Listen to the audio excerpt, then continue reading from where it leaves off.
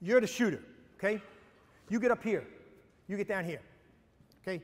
On, you're going to sprint, act, act, act, act, act, act, and then dive to the rim. Okay? When he, you're going to sprint out here, touch the three point line with your foot, and then go screen for Elam. Okay? You're going to sprint out over here to the white line. Okay? All right? Everyone understand what we're doing? You're going to get Elam a jump shot right over there.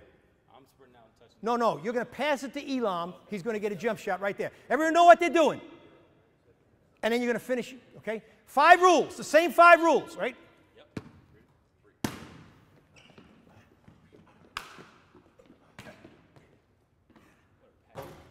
Okay, everyone see how that? It's simple as can be. Now, let me define the details. Did you see what Josh did? Show us how you started the play, Josh. Who's he signaling? He's signaling a defense. We're running a play now. What are you, stupid? hey, we're going to run a play now. So, what we do, remember what one of our seven fundamentals is? See. Okay? So, all of our guys are going to see this. As soon as that happens, that's our signal. Soon as the referee hands the ball, that's our signal. Okay? Everyone got that? Okay, let's just one at a time. Okay, we understand that. Okay, now, here's another thing. Trey, guard Elam. Okay, I'm guarding you. Okay, stronger, bigger. He's going to kill me. He's bigger than you. Okay? Notice what he did. He bent down. All of our guys, as soon as they set up in their positions, and you can look at every Davidson tape, you will see hands on the knees. Why do we do that? Try to get into my body.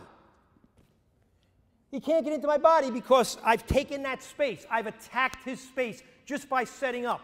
If I stand up like this, get into my body. He's got me. Plus, if I start down, I'm quicker.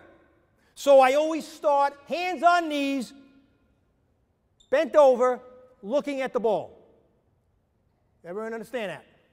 Okay? Now, how many times have you seen a guy take the ball out of bounds from the referee and his players still aren't in their positions? Happens all the time. So we got to get you to get your timing right. So we know it's going to be the takeout man. I'm the takeout man. This is the way I take. Whistle blows. I don't. A lot of guys will go over here like this, right? That's not me. Here's what I do. Whistle blows. I walk out backwards.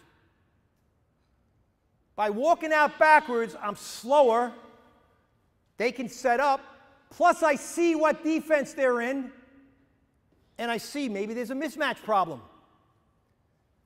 I think the biggest thing you must understand get to your spots, see, and your first act must be a threat. Your first act must be a threat. So you know you're going to pass the ball over here, okay? So you got to go here, here. What is the defender going to do? He's going to jump. It's going to open up the passing lane for that, okay? You First act look like, hey, I want the ball, I want the ball, and all you're doing is setting yourself up for an angle on a screen.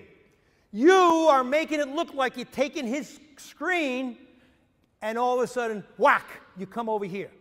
Okay? You can step back and like look for a pass here. You could go here, but you're going to get that screen. You're the safety net. Okay? All right? I was asked, what does this guy do? It's a jump shot play. Guess what happens after missed jump shots? Run out. You're running your butt out to the top of the key to prevent a run out. Okay? okay? We understand what we're doing here. Let's look at the action. You can step off, Trey. Okay? All right? Your ball.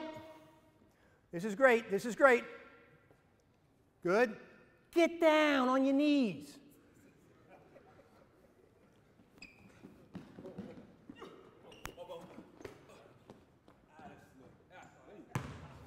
Okay, you see the play. Okay, now let's run a, another play. and I'll finish with this one. okay?